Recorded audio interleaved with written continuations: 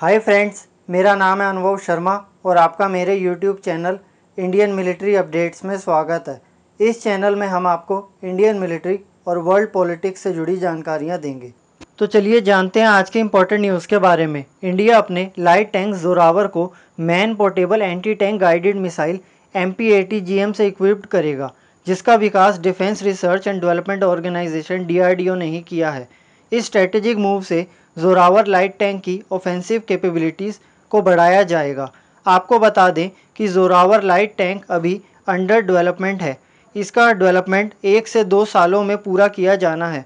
Man portable anti tank guided missile एक low weight और fire and forget missile है। Indigenously विकसित की गई एम पी में एक इंफ्रारेड इमेजिंग सीकर और precise on board control and guidance के लिए एडवांस एवियोनिक्स लगाए जाएँगे। डीआरडीओ इस मिसाइल के यूज़र ट्रायल सक्सेसफुली कंप्लीट कर चुका है। इस साल डीआरडीओ ने अनाउंस किया कि वह इस मिसाइल के एक लाइट वेरिएंट को विकसित करेगा, जिसका वेट 10 से 20 परसेंट कम होगा। जोरावर लाइट टैंक को एडवांस म्यूनिशन से लैस किया जाएगा, जिससे इस टैंक की फायर पावर बढ़ाई जा सकेगी। इस टैंक को 105 mm कैलिबर गन से भी लैस किया जाएगा। इस टैंक का विकास डीआरडीओ और लार्सन एंड टूब्रो मिलकर कर रहे हैं। तो चलिए जानते हैं आज की अगली इंपॉर्टेंट न्यूज़ के बारे में। ब्रह्मोस एरोस्पेस जो कि जाने माने इंडो रशियन मिसाइल मैन्युफैक्चरर है, उन्होंने हाल ही में कंफर्म किया है कि ब्रह्मोस नेक्स्ट जनरेशन मिसाइल्स के डिज़ाइन फ़ेज़ को सक्सेसफुली कंप्लीट कर लिया गया है। ब्रह्मोस नेक्स्ट जनरेशन मिसाइल को इस तरह से डिज़ाइन किया जा रहा है, जिससे इस मिसाइल का वेट ब्रह्मोस मिसाइल की तुलना में कम होगा। इस मिसाइल के कॉम्पैक्ट डिज़ाइन के कारण इसकी लेंथ 9 मीटर से कम करके 6 मीटर तक करी जा सकेगी। इस मिसाइल के लाइट वेट होने के कारण इसे अलग अलग प्लेटफॉर्म्स पर डिप्लॉय करना आसान होगा। अब डिज़ाइन फ़ेज़ पूरा होने के बाद मैन्युफैक्चरिंग और प्रोडक्शन प्रोसेस की ओर ध्यान केंद्रित किया जाएगा। तो चलिए जानते हैं आज की अगली इंपॉर्टेंट न्यूज़ के बारे में। Indian space research organisation ISRO ने अनाउंस किया है कि वह रशिया के R D one nine one semi cryogenic rocket engine को लेने पर विचार कर रहे हैं। इसरो का कहना है कि वह इस इंजन का इस्तेमाल अपने upgraded L V M three rockets को पावर देने के लिए करेंगे।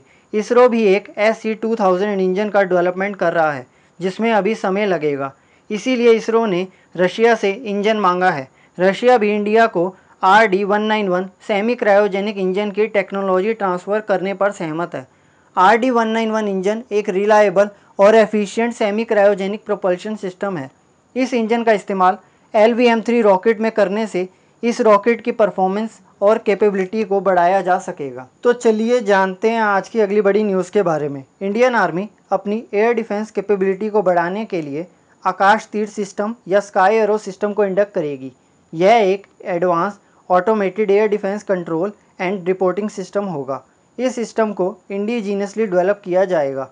इस सिस्टम का इस्तेमाल इनकमिंग एरियल थ्रेट्स को मॉनिटर और ट्रैक करने में तथा सिचुएशन अवेयरनेस को बढ़ाने में किया जाएगा। इस सिस्टम से इंडियन आर्मी की रिस्पॉन्स कैपेबिलिटी भी बढ़ेगी। आकाश तीर सिस्टम को इंडिया की state owned company Bharat electronics limited BEL से लगभग 242 मिलियन डॉलर में ख़रीदा जाएगा। यह सिस्टम 2025 तक फुली ऑपरेशनल कर लिया जाएगा। इस सिस्टम के तहत सभी air defence radar, control centres और ग्राउंड बेस्ड वेपन सिस्टम को इंटीग्रेट किया जाएगा। इस तरह की सेंट्रलाइज्ड अप्रोच से इंडियन आर्मी की डिसीज़न मेकिंग और rapid response to aerial threat में मजबूती आएगी। तो चलिए जानते हैं आज की अगली बड़ी न्यूज़ के बारे में। ब्रिटिश अथॉरिटीज़ ने कंफर्म किया है कि रशियन डिज़ाइनर फिफ्थ जनरेशन पाक डा बॉम्बर्स के डेवलपमेंट के फाइनल स्टेजेस में है।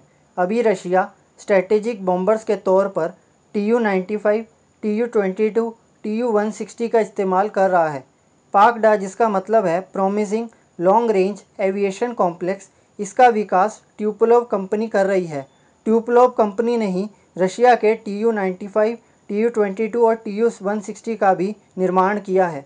फ्यूचर में पाक डा बॉम्बर रशिया के टी यू वन सिक्सटी और T U twenty two M three bomber को रिप्लेस करेंगे। इस एडवांस और मॉडर्न बॉम्बर की फ़र्स्ट फ़्लाइट 2026 में कंडक्ट की जाएगी। यह एक एडवांस, मॉडर्न और स्टेल्थ बॉम्बर होगा। पूरा वीडियो देखने के लिए आपका धन्यवाद। प्लीज़ चैनल को सब्सक्राइब करें, वीडियो को लाइक करें और बेल आइकन ज़रूर दबाएँ और साथ ही साथ वीडियो को ज़्यादा से ज़्यादा लोगों तक शेयर करें। जय हिंद, भारत माता की जय।